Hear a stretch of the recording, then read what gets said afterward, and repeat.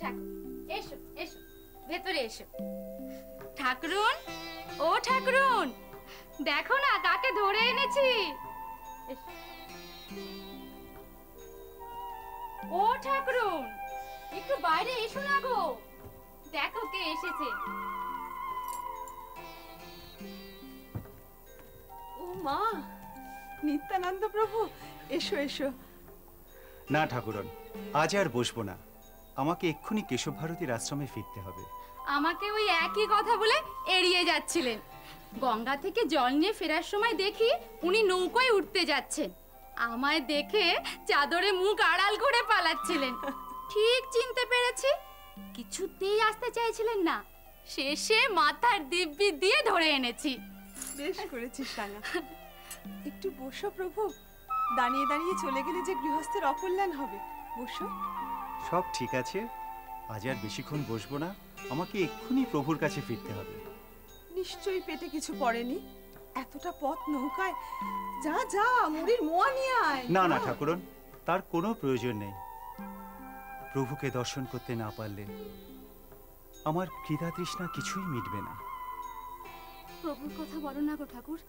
তিনি কি সত্যি সত্যি সন্ন্যাস নিয়ে নিয়েছেন? নিমাই এখন কোথায়? তাহলে তুমি এখানে কার সঙ্গে দেখা করতে এসেছ? দাঁড়াও দাঁড়াও দাঁড়াও। একসঙ্গে কটা কথার উত্তর দেব? একে একে বলছি। তার দীক্ষা গ্রহণ অনুষ্ঠান সমাপ্ত হয়েছে। আমার গৌরাঙ্গদেব আর তোমাদের স্নেহের নিমাই হারিয়ে গেছে। সে আজ হারিয়ে গেছে। নবদ্বীপের প্রতিটি ধুলিকণায়, প্রতিটি গাছের পাতায় গঙ্গা জলে সর্বত্রই অতীত এ কেমন অলক্ষণে কথা বলছো গো ঠাকুর? সন্ন্যাসী জীবনে এই তো ভবিতব্য। তার মানে নিমাই আর নবদ্বীপে ফিরবে না?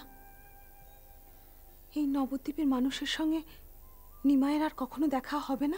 জানি না। জানি না তার সাথে আর তোমাদের দেখা হবে কিনা। তবে তিনি যে আর কোনোদিন নবদ্বীপে আসবেন না এটা আমি হলক করে বলতে পারি।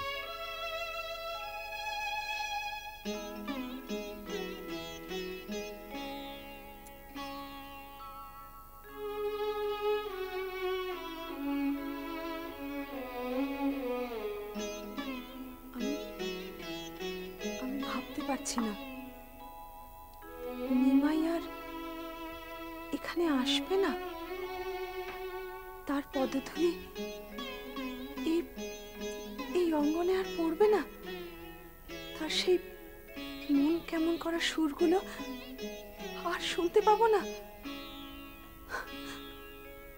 আমার সেই ছোট্ট নিমাই কবে সকলের নাগালের আড়ালে চলে গেছে টেরও পাইনি আমি যদি আগে জানতাম তাহলে তো শ্রীবাস ঠাকুর শ্রীবাস ঠাকুর আছেন নাকি? আসুন উনি তো বাড়িতে নেই উনি সচি ঠাকুরনির বাড়িতে গেছেন। হ্যাঁ আমিও তো সেখান থেকেই আসছি। সেখানে গিয়ে শুনলাম উনি একটু আগে বেরিয়ে গেছেন। ভাবলাম বাড়িতে এসেছেন। তা এখানেও নেই। আমার যে তাকে বিশেষ প্রয়োজন ছিল আমি ভাবছি এক্ষুনি একটা দশ দাঁড়ের নৌকো নিয়ে বেরিয়ে পড়ব ওই কাটোয়ার উদ্দেশ্যে। ওই নবীন সন্ন্যাসীকে দেখার জন্য মনটা বড় ব্যাকুল হয়ে উঠেছে। না, রাজা, আপনি যাবেন না। কেন? যাব না কেন? প্রভু যাদের যাদের আসার নির্দেশ দিয়েছেন শুধু তারাই তার দর্শন পাবে। ও আমি তাহলে তার দর্শন পাব না। আমি কি তার ভক্ত নই? এটা মান অভিমানের সময় নয়। আপনি বিচক্ষণ। আপনি একটু ভেবে দেখুন প্রভু সদ্য সন্ন্যাস গ্রহণ হয়েছে। এই অবস্থায় তার একটু নির্জনতার একাকিত্বের দরকার। ব্যাস ব্যাস। আর বলতে হবে না আমি বুঝেছি। অবধূত নিত্যানন্দ তার সেই দুর্লভ মুহূর্তের সাক্ষী আপনারা মাত্র কয়েকজন। আমাকে দয়া করে বলুন কেমন হলো তার দীক্ষার অনুষ্ঠান? তার মন্ত্রদান অনুষ্ঠানে আমিও থাকতে পারিনি রাজা। মহাভক্ত কেশব ভারতী তার আশ্রমে একান্তে তাকে দীক্ষা দিয়েছে মস্তক মুন্ডন আর অন্যান্য কার্য নদীর তীরেই সমাপন হয়েছে। আর আপনি তো জানেন নিমায় সন্ন্যাস মানে লক্ষ লক্ষ লোকের সমাবেশ। হ্যাঁ সে তো বুঝতেই পারছি। কাটোয়ার মানুষ সত্যি ভাগ্যবান। এমন একটা দেব দুর্লভ, অথচ হৃদয় বিদারক দৃশ্যের তারা সাক্ষী হয়ে রইল। তা প্রভু নিত্যানন্দ? আপনি কাটোয়া ছেড়ে নবদ্বীপে এসেছেন কেন? নিশ্চয়ই অন্য কোনো উদ্দেশ্য আছে। আমি প্রভু নির্দেশেই এসেছি। দীক্ষান্তে প্রভু শান্তিপুরে অদ্বৈত আচার্যের বাড়িতে অবস্থান করবেন। আর সেখানেই সচিমাতাকে নিয়ে যেতে বলেছে। সেই কারণেই আমার এখানে আসা। কই? সচী দেবী তো এ কথা আমাকে বললেন না। না না। আমি তাকে বারণ করেছি। কারণ প্রভু যে তাকে একাই যেতে বলেছে। তা বধূমাতা বিষ্ণুপ্রিয়া কার কাছে থাকবে? এই অবস্থায় তো তাকে এক মুহূর্ত একা রাখা উচিত নয়। আমার স্ত্রীও এই সময় পিত্রালয়ে। সে আপনি ভাববেন না রাজা। বিষ্ণুপ্রিয়া থাকবে আমার কাছে। আমার স্বামী যখন ওদের সকলের রক্ষণাবেক্ষণের দায়িত্ব নিয়েছে আমার আর বাধা কোথায় রইল? যাক আমি নিশ্চিন্ত হলাম। আচ্ছা শ্রীপাদ মায়ের সঙ্গে সাক্ষাৎ করার পরে প্রভু কোথায় যাবেন সে সম্পর্কে কিছু বলেছেন? প্রভুর তো খেয়াল। তিনি কখনো বলেন বৃন্দাবনে যাবেন আবার কখনো বা নীলাচলে। তবে আমার মনে হয় পিতৃভূমি নীলাচলে হবে তার প্রথম গন্তব্যস্থল। নীলাচল? মানে উৎকল দেশ? কিন্তু আপনারা কি জানেন যে সুলতান উড়িষ্যার সীমান্তে সৈন্য সমাবেশ করেছেন? সেখানে বেজে উঠেছে যুদ্ধের দামামা। এই অবস্থায় সেখানে যে কোনো অসামরিক লোকের চলাচল নিষিদ্ধ। পদে পদে সেখানে মৃত্যুর হাতছানি। তাছাড়া নবদ্বীপে যে কাজ করতে সুলতান সাহস পাননি। উড়িষ্যার সীমান্তে যুদ্ধের ডামাডোলের মাঝে সুলতান যদি সেই কাজ করেন? রাজা আমি ঠিক কথাটা বুঝতে পারলাম না। এ তো সহজ অঙ্ক। গুপ্তচর বৃত্তির মিথ্যা আরোপ দিয়ে প্রভুকে হত্যা পর্যন্ত করতে পারেন সুলতান হোসেন শাহ। সর্বনাশ তাহলে কি হবে গো? প্রভুকে শেষে বেঘরে প্রাণ দিতে হবে নাকি? না না ঠাকুর তুমি তুমি এখনই ফিরে গিয়ে প্রভুকে আটকাও। ঠিক তাই। আমারও তাই মত। শ্রীপাদ আপনি কি প্রভুকে বোঝান? এই অবস্থায় উৎকল সীমান্তে যাওয়া মানে আত্মহত্যা করা। তিনি কি আমার কথা শুনবেন?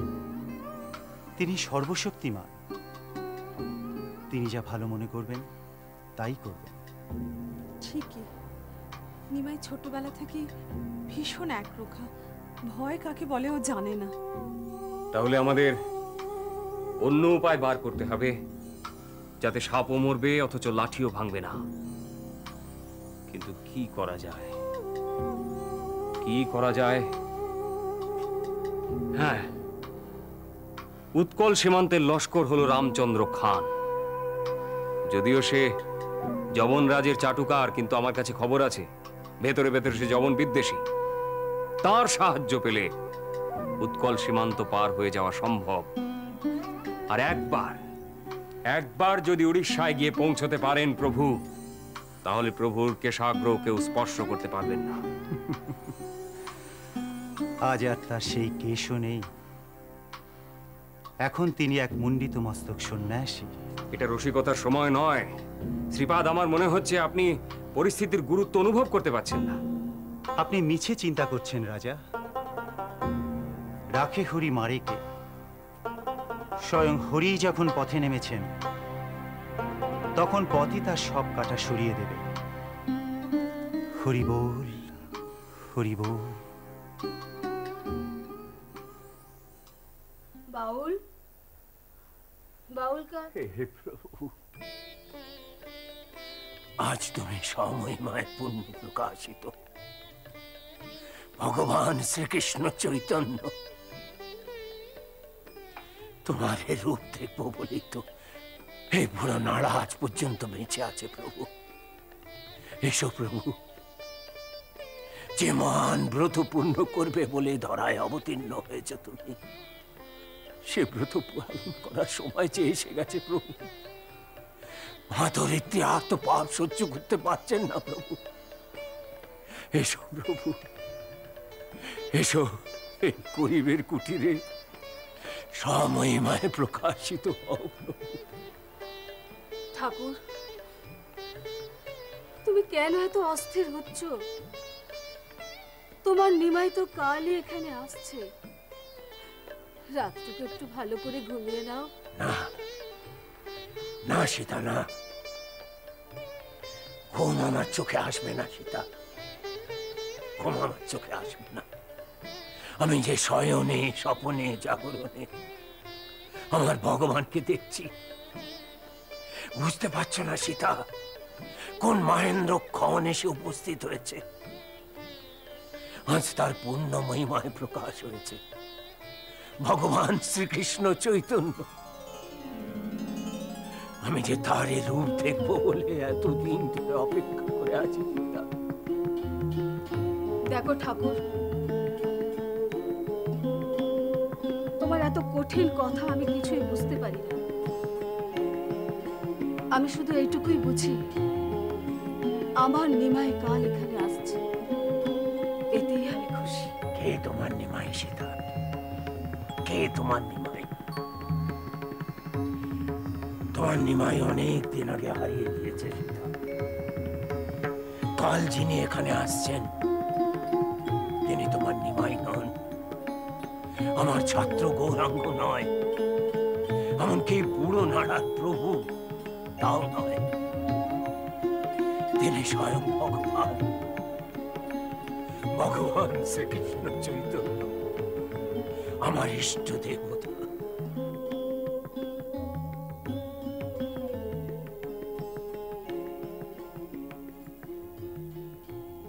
তোমার কাছে সে যাই হোক, আমার কাছে কিন্তু সে নবদ্বীপের সেই ছোট্ট ডান পিঠে নিমাই। দেখো বাউল,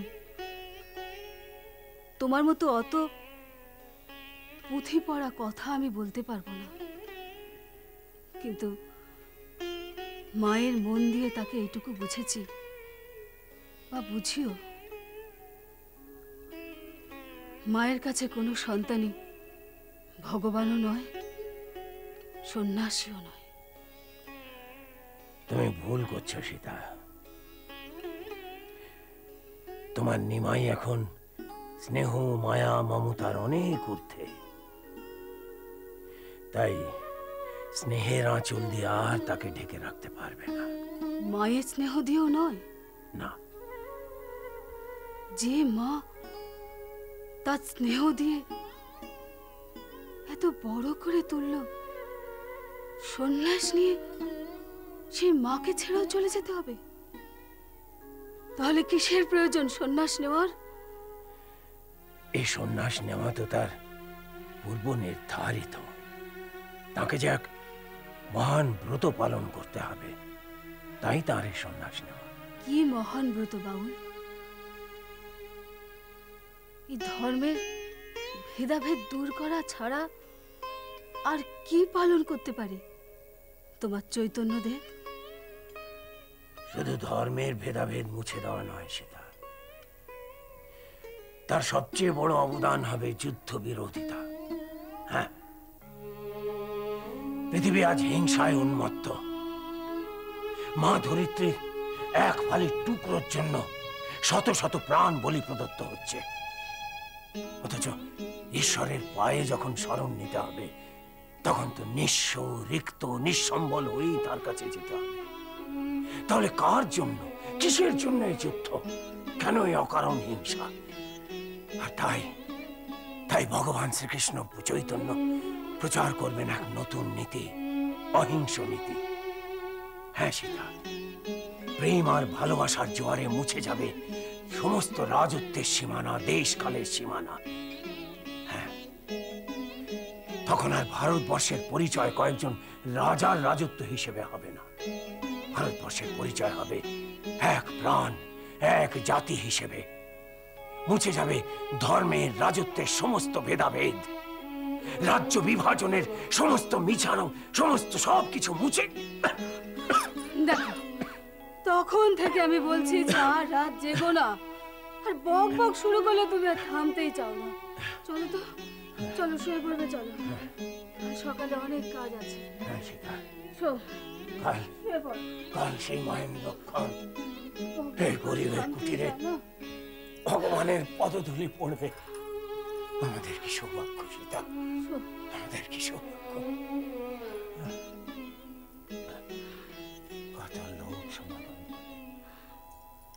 কত লোক নাম সংকীর্তন হবে ভগবান হরে